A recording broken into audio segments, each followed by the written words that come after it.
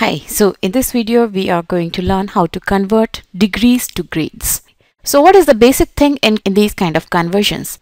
All these units of measuring angles are basically defined based on the number of right angles. So if somehow we can convert the given degrees or grades or radians into the number of right angles, from there we can directly convert it into any of the given units right?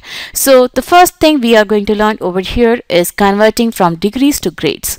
So the procedure for converting any angle from degrees to grades is first you have to convert seconds into minutes. This will give you minutes in decimal. Then you convert minutes into degrees. This will give you degrees in decimal. Then you divide it by 90 because 90 degrees is equal to one right angle. This we are doing to convert degrees into number of right angles. And then if we multiply this by 100, we will basically convert the degrees into grades because one right angle is equal to 100 grades.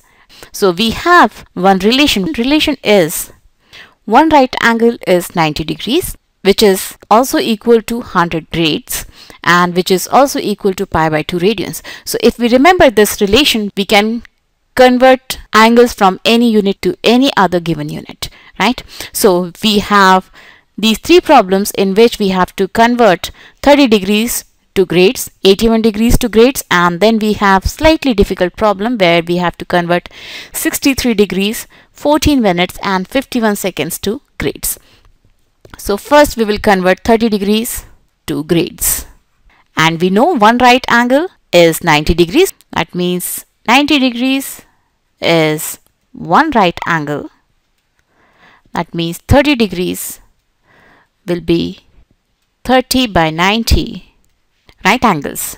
Zeros will cancel each other. 3 ones are 3 3 threes are 9 that means it is actually equal to 1 by 3 right angles. And we know that one right angle is equal to 100 grades. That means this will be equal to 1 by 3 multiplied by 100 grades. And this is 3 ones are 3 3 threes are 9 3 threes are 9.3 and a bar over that number of grades right? So this is the conversion of degrees to grades where we don't have any minutes or seconds. So we need not to bother about them. And now let's go to the second problem. In second problem we have to convert 81 degrees to grades. 81 degrees will actually be equal to 81 divided by 90 right angles. 9 ones are 9, 0, 9 nines are 81. That means it is actually equal to 0.9 right angles. Each right angle is equal to 100 grades. That means 0.9 right angles will actually be equal to 0.9 multiplied by 100 grades and this will be equal to 90 grades. So 81 degrees is actually equal to 90 grades.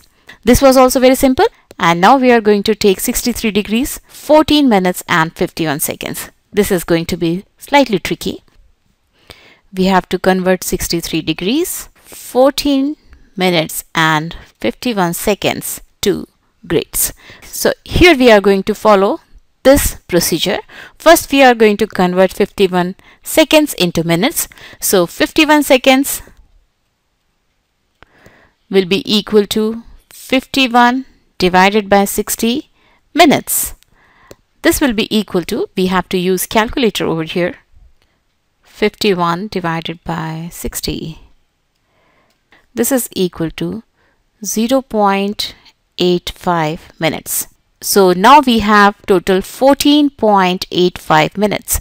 So 14.85 minutes now needs to be converted into degrees. So 14.85 minutes will be actually equal to 14.85 divided by 60 degrees because each degree has 60 minutes. So this will be equal to 14.85 divided by 60 is equal to 0.2475 degrees right? So how many degrees do we have now?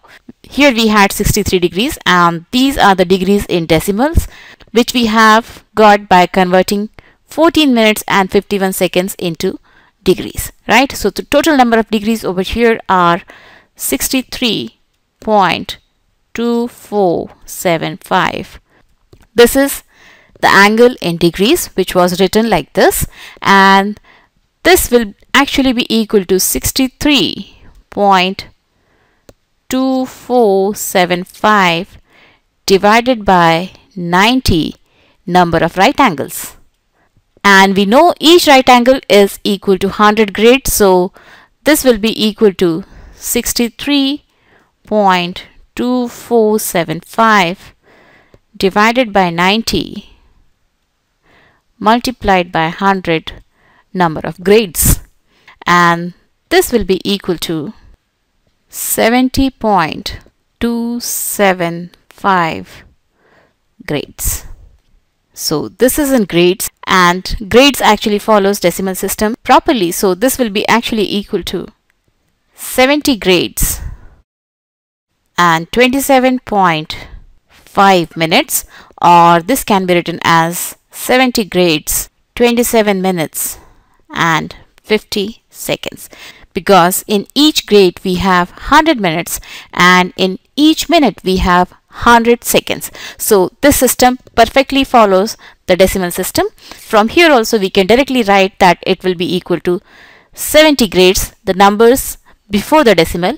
After that two digits will be number of minutes and after that two digits will be number of seconds. And after this we are going to learn how to convert grades into the degrees. So keep watching MathsSmart and bye bye till then.